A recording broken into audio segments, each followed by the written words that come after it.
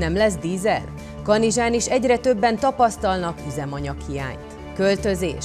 Decembertől az ötföstéri hivatalban intézik a kanizsai járás népegészségügyeit.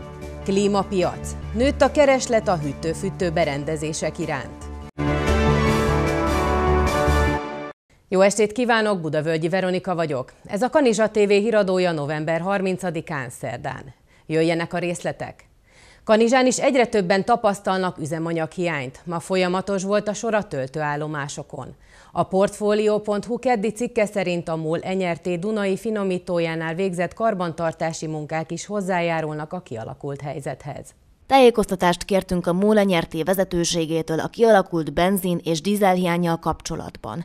Iradónk adásáig választ nem kaptunk. A Portfolio.hu-n azt írják, a Dunai finomító a karbantartási munkák miatt továbbra is csökkentett kapacitással üzemel. Részben ez is hozzájárul a jelenlegi üzemanyaghiányos helyzet kialakulásához. A legfrissebb kormánykommunikáció értelmében január 1-től csak akkor tudják fenntartani a benzinástoppot, ha egyéb feltételek teljesülése mellett a százhalombattai finomító folyamatosan működik. Szerkesztőségünk megkereste az OMV-t és a cég ügyféligazgatója Adra Wetzlaufer Flóra az alábbi írásos közleményben tájékoztatta a híradónkat. Az OMV Hungária Kft. mindent megtesz annak érdekében, hogy a jelenlegi nehézségek ellenére is biztosítsa az üzemanyag ellátást. Több versenytársunkhoz hasonlóan egyes állomásokon az OMV-nél is előfordulhat hiány néhány termékből. Minden erővel azon dolgozunk, hogy a lehető leggyorsabb gyorsabban biztosítani tudjuk a folyamatos ellátást. Megértésüket kérjük az esetleges átmeneti hiányok kezelésének idejére. Az egyik közösségi oldal kanizsai csoportjában is folyamatosan jelennek meg olyan posztok, amelyekben a helyi lakosok érdeklődnek, melyik benzinkúton lehet még tankolni. Sokan tudni vélik pár nap, és egyáltalán nem lesz dízel. Az ügyjel, amennyiben kapunk választ a megkeresett szolgáltatóktól, a továbbiakban is foglalkozunk. Több online kereskedelmi szervezettel összefogva idén is folytatja az adathalászat elleni országos kampányát a rendőrség. Tóth László, az Ala megyei rendőrfőkapitányság bűnmegelőzési alosztály vezetője híradónknak elárulta, az ilyen típusú bűncselekményeket most már egyre nehezebb kiszűrni, mert folyamatosan finomodnak az elkövetők módszerei. A Polisz.hu közleménye szerint a koronavírus járvány óta az online kommunikáció mennyiségével egyenes arányban nőtt az adathalászati kísérletek száma. Az ünnepi időszakban a csalók még intenzívebben igyekeznek folytatni tevékenységüket. Jellemző, hogy csomagküldő szolgálatok nevében küldenek SMS-t vagy indítanak telefonhívást, amelyben jelzik, hogy nem tudtak kézbesíteni egy megrendelt csomagot, így az üzenet fogadóját arra kérik, hogy egy jelképes összeget utaljon át, hogy kiszállítsák az adott ajándékot. Ilyen esetekben az adathalászok megszerezhetik a bankkártyák adatait és átvehetik az uralmat a kártyák felett. A rendőrség figyelmeztet, hogy semmilyen körülmények között ne adjuk meg bizalmas adatainkat, ellenőrizzük, hogy mit és honnan rendeltünk az utóbbi hónapokban, valamint nézzük meg, hogy nem tartalmaz-e valamilyen elütést vagy magyartalan kifejezést a hivatalosnak feltüntetett üzenet. Tóth László kiemelte, amíg korábban az adathalász e-mailek hemzsegtek a helyesírási hibáktól, addig ma már főként SMS-ben, illetve telefonon zajlanak ezek a csalások, és jól szituáltnak feltüntetett emberek igyekeznek túljárni a gyanútlan áldozatok eszén. Mindig ellenőrizzük, hogy van-e ezen egy ugye minden csomagnak van egy száma. Ez egyezik-e azzal, amivel minket korábban megkerestek.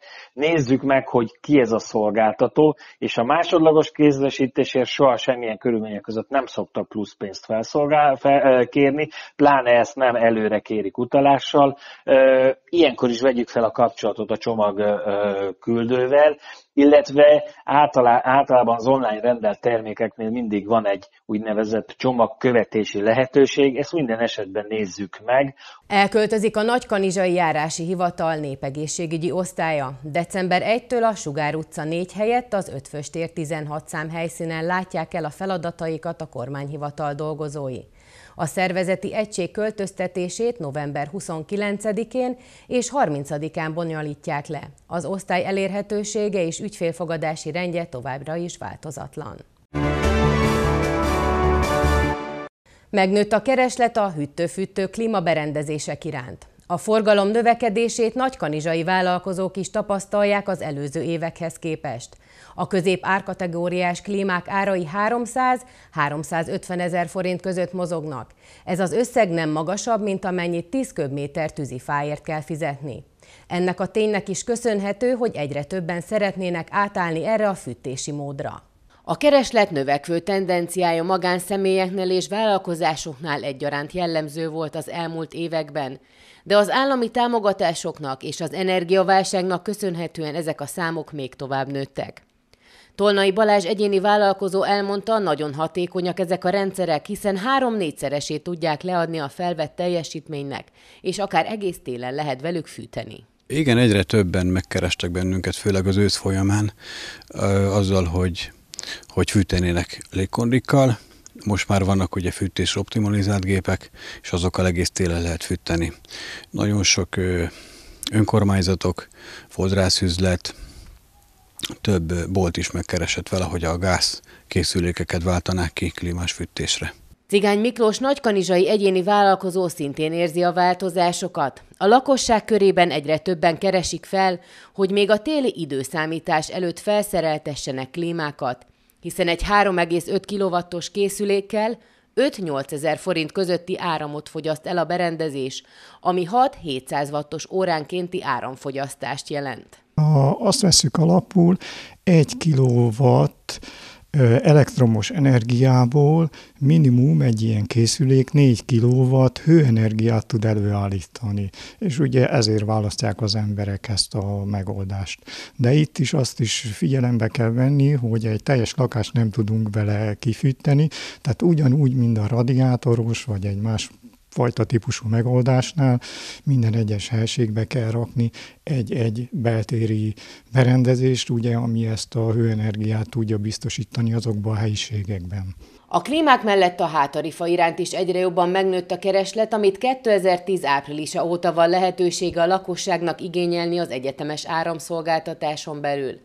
A szakértők azt tanácsolják, hogy aki szeretne átállni erre a fűtési módszerre, gyorsan döntsön, mert a bejelentkezés után heteket kell várni a szakemberek érkezésére. Nehéz helyzetben vannak a szállodaipar vezetői és dolgozói, de a kormány túlélés segítő intézkedésekkel próbálja ezt a szférát támogatni. Az akcióterv egyik eleme az árbevétel 4%-ának megmaradása, Előreláthatóan fél évre nagy segítséget jelent minden szállodának és vendéglátóegységnek. Az akciótervben szerepel a turisztikai hozzájárulás elengedése október 1-től március 31-ig, a szépkártyák zsebeinek felfüggesztése, valamint a turizmusban is elérhető lesz a 24 havi munkaidő keret felhasználása. A szállodaigazgatók pozitívan élik meg a támogatásokat, igaz tudják, azok nem nyújtanak teljes körű segítséget. A helyzet az nagyon komoly. Ezt gondolom minden szálloda el tudná mondani, hiszen az energiáraknak a növekedése, a létszám problémák, a munkaerőhiányra gondolok itt elsősorban, ez mindenkire kihatnak. Amit az államos próbál tenni, ebben vannak nagyon komoly és nagyon jó intézkedések. Gondolok itt a turisztikai hozzájárulás meg nem fizetésének a lehetőségére. Ez több tízmillió forintos megtakarítást eredményez a szállodának, amit tudunk egy kicsit a, a, az energiára vagy másra fordítani. Az érintettek minden segítségnek örülnek, főleg ebben a helyzetben, hiszen a vidék mindig is nehezebb helyzetben van, de Zalakaros kitart, és a vezetők igyekeznek mindent megtenni, hogy megtartsák a vendégkörüket. Mindenképpen azt szoktuk mondani, minden segítség segítség, és hogyha a bonyolított forgalmakhoz viszonyítunk például olyasmit, hogy 4% az egy nagyon komoly összegé tud válni. Természetesen ez a négy-öt irány, amiben minket próbálnak segíteni, ez, ez nem old meg minden gondunkat. Egyértelműen a mi tehetségünk, meg szándékaink is kellenek ehhez a úgy, úgy mondanánk talán túléléshez. Nagyon fontosnak tartjuk azt, hogy a vendégkörünket meg tudjuk őrizni. Egyelőre Zalakaros esetében ez egészen jól működik. A város területén egy szálloda fog bezárni, de akad olyan intézmény is, ahol a felújítások miatt ideglenesen nem fogadnak vendégeket.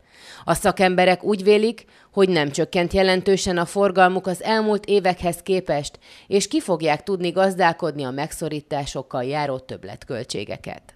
Most pedig nézzük, miről lesz még szó a híradóban. Interaktív foglalkozás. Lőrinc Katalin táncművész segítette a zeneiskolások fejlődését. Nem borult a papírforma, kikaptak a siófoktól a kézislányok. Szépség és egészségnapot tartottak az egyik kanizsai fodrászszalomban, hogy az érdeklődő hölgyeknek és uraknak a szépségápolás és az egészségmegőrzés területén tanácsokat, útmutatást adjanak. A szakemberek az eseményre apró ajándékokkal, csomagokkal, ismertetőkkel is készültek. Hat hölgy várta a szépülni és egészségüket megőrizni vágyókat hétvégén a Demona szépségszalomban. A nagykanizsai üzletben tartott nyílt napon már karácsonyra is lehetett szépségcsomagokat vásárolni, illetve szakemberek adtak tanácsokat otthoni praktikákra és vitalitás megőrzésre. A mai egészség és szépség napot azért szerveztük, mert a téli időszak beálltával ö, rövidebbek a nappalok, korábban sötéted, sötétedik, ezért ö, az emberek zárkozottakká válnak, és úgy gondoltuk, hogy ö, nyílt nap keretében kötetlen beszélgetéssel ö, tudnak érdeklődni a hajápolásról, bőrápolásról, egészségmegőrzésről, masszás keretében, smink és orvosi tetoválásokról, és azért gondoltunk erre, erre, hogy pozitív élménnyel gazdagodva térjenek haza.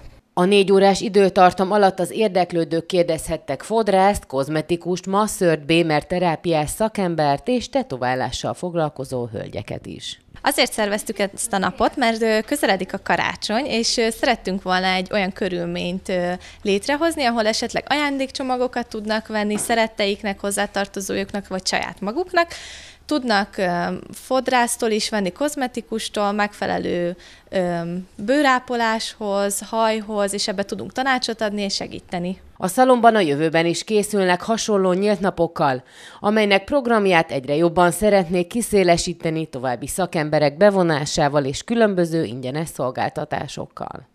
Lőrinc Katalin táncművész és tanítványai tartottak ma délelőtt interaktív foglalkozást a Farkas Ferenc Zene és Aranymetszés Alapfokú Művészeti Iskola balettszakos diákjainak. A program célja az volt, hogy a növendékek jobban megismerjék a tánchoz fűződő viszonyukat. A diákokra egy különleges délelőtt várt, mivel a hagyományos oktatás mellett a diákok különböző asszociációs játékok és gyakorlatok segítségével ismerhették meg a táncot, mint az önkifejezés eszközét. Lőrinc Katalin a Magyar Táncművészeti Főiskola tanáraként három év után egy országos programsorozat részeként látogatott el Nagykanizsára, hogy átadja tudását a jövő táncosainak. 2019 őszén volt utoljára ilyen foglalkozás, amikor Lőrinc Katalin lejött hozzánk a Táncművészeti Egyetemről, és hozta a növendékeit, az egyetem hallgatóit. Már akkor is nagyon nagy élmény volt akár nekem is, és a gyerekeknek, a balettos kisgyermekeknek ez a fajta interaktív előadás, amit Katalin tart.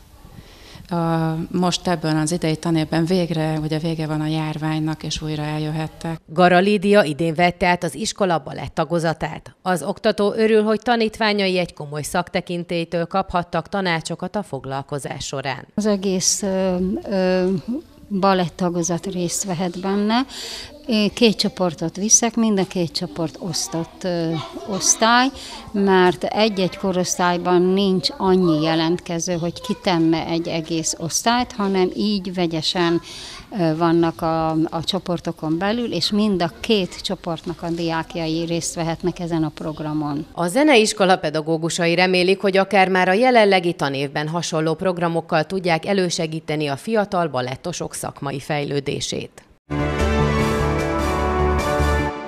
Kikapott a Siófok U22-es csapatától a Tungsra Mese Nagykanizsa női gárdája. Baranyai Zsolt együttese az első 10 percben még tartotta a lépést a Balatonpartiakkal, sőt, rövid ideig két gollal is vezetett. A vendégek azonban növelték az iramot és végül magabiztosan nyertek. A végeredmény 25-35 lett. Több meghatározó játékosan nélkül fogadta az alapvetően is esélyesebb siófoki csapatot a Tungsram. A két együttes legutóbbi kanizsai összecsapásán egy kélezett mérkőzésen végeztek döntetlenre a felek. Az első 15 percben úgy látszott, ezúttal is borulhat a papírforma, de két gólos hátránynál időt kért Vers Ákos a vendégek mestere, ami jó döntésnek bizonyult.